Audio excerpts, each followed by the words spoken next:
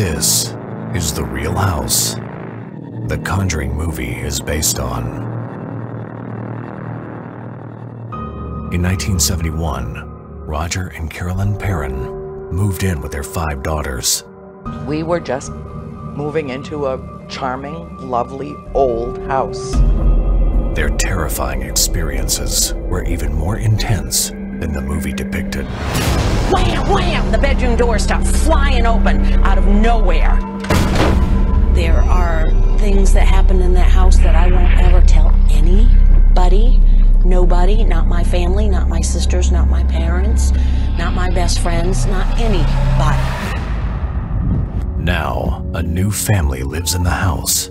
We bought the house because the number one horror movie of all time was based off of events, real life events that happened in this house. And once again, things are starting to happen.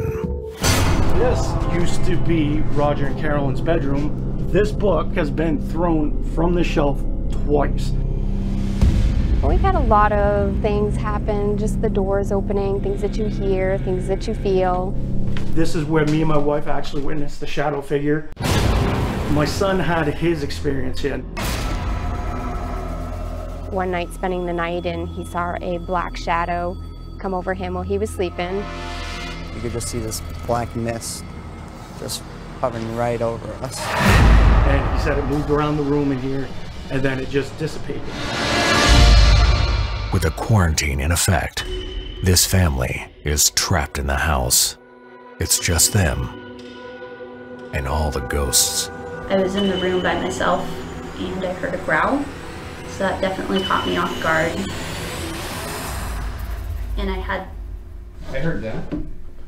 Yeah, just normal shit. Just don't pay attention to it. It's okay. It came from that I know room. it did. It's okay. It's, it happens all the time. Join the Heinzen family as they live stream their experiences living in one of the most haunted houses in the world. The latch does pop open sometimes on its own.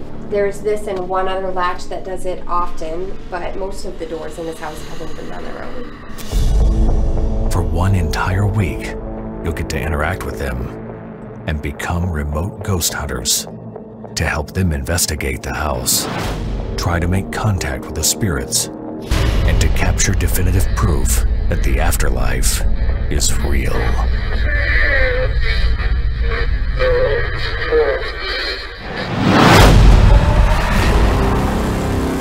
If you loved the movie, you can't miss this once in a lifetime experience. Inside the house, live.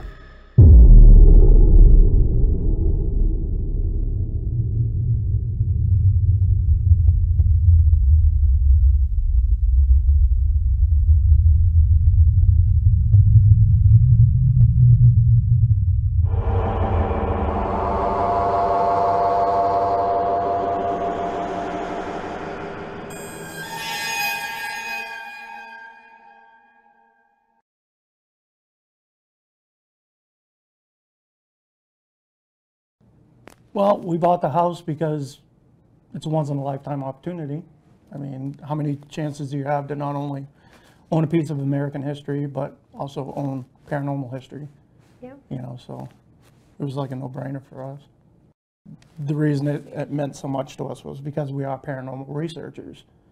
I mean, that's that's our job, that's our passion, you know, and to be able to own something like this and wake up and do it on a continual basis and basically do something that nobody else is doing or had an opportunity to do. Right. Uh, and to share it with other people like us. I mean, to be able to give other people the opportunity we would have liked the opportunity in their position. I mean, this is the house that inspired The Conjuring, Yeah. you know, and not too many people can say that. You know, the, the number one horror movie of all time was based off of events, real life events that happened in this house. Um, so far, the house itself has been pretty active, but it hasn't been anything scary. Lots of things have happened, lots of things that that have scared us in the moment, but most of the time we high five each other after it because it's exciting. Some of the things that we've been experiencing here in the house, um, disembodied voices, uh, EVPs, electric voice phenomenon. Uh, we've had uh, footsteps, uh, black masses. Uh, Body figure, yeah, we had a shadow figure. Uh, what else? doors opening, Doors opening and closing. objects moving. Yeah, things flying off shelves. I mean, it's it's almost like a mix of like poltergeist activity and you know just traditional hauntings and almost like you know you almost have God how could- how could you put it? I mean, it's almost like a an intelligent haunt and a residual haunt all in one. Right. So For me, I don't like to be in a- any part of the house alone.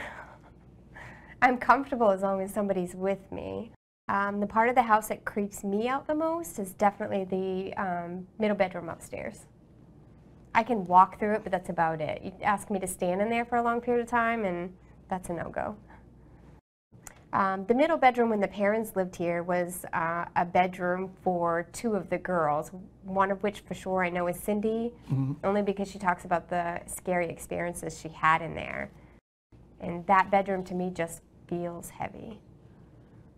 yeah, there's something not right with that bedroom. Yeah, to me that's just doesn't, that bedroom has something that just doesn't feel right, not comfortable.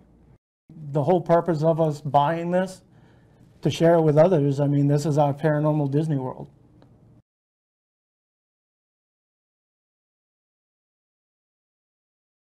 Um, this is where me and my wife actually witnessed the shadow figure uh, looking at us as we were laying in bed one night, and we both witnessed it. We weren't aware each other were awake.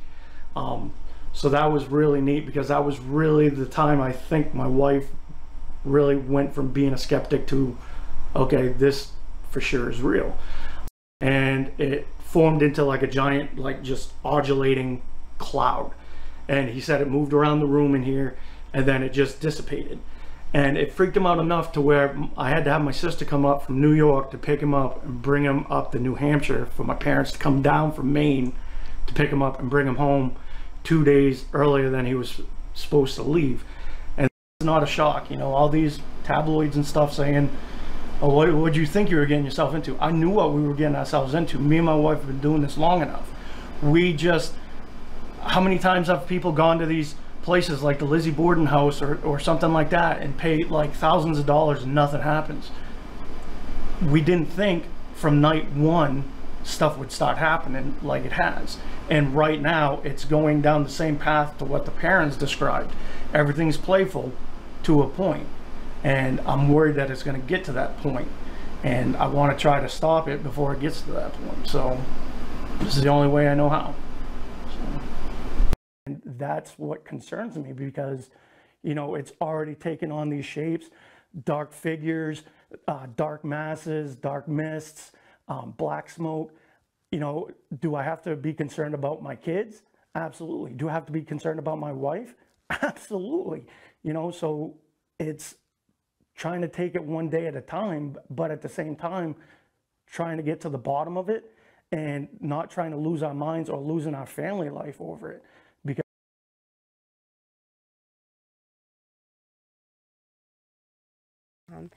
First time we walked through the property and the house, we absolutely fell in love with it. But that definitely changed quickly after purchasing the home and spending more time here. Well, we've had a lot of little things happen, just the doors opening, things that you hear, things that you feel. The biggest thing, the biggest eye opener for me at this point was definitely the black shadow apparition figure that was in the doorway one night when Corey and I were sleeping. Both both of us it at the same time and that was very scary, heart stopping, and exciting all at once. That was um, the more we're in the house, the more active it's getting. It kind of feels like it could be going on the same line as the way the parents were when they were living at the house. So we are we're taking our time, investigating, figuring out what's going on with the house first. Uh, Kylo definitely loved the house at first. Uh, we visited the house twice with him before we purchased the home. He was very excited. Um, Um, he had had things happen in the beginning that made him a little nervous. Um, doors opening, hearing stuff, being in a room by himself. He was kind of nervous hearing things outside the door. Uh, the major experience for him was one night spending the night and he saw a black shadow come over him while he was sleeping. Didn't tell us about it at first. We were supposed to spend the weekend here. He uh, wanted to go home the next day, didn't really tell us why, just was ready to go home. Uh, Corey's sister Katie picked him up on her way through. Um, the plan right now is to take it day by day. Um,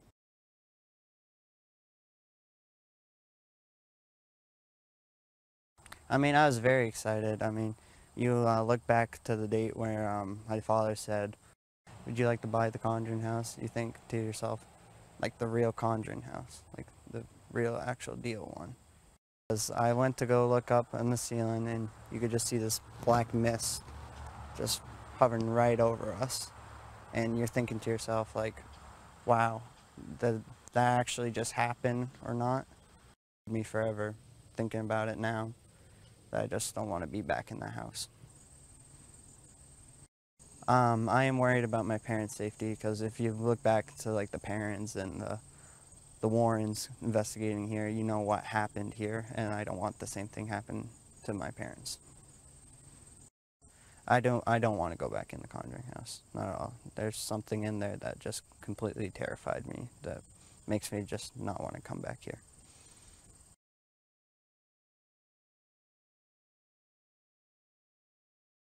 I was in the room by myself and I heard a growl. So that definitely caught me off guard. And I had I heard that. Yeah, just normal shit. Just don't pay attention to it. It's okay. it came from I that know room. it did. It's okay. It's, it happens all the time.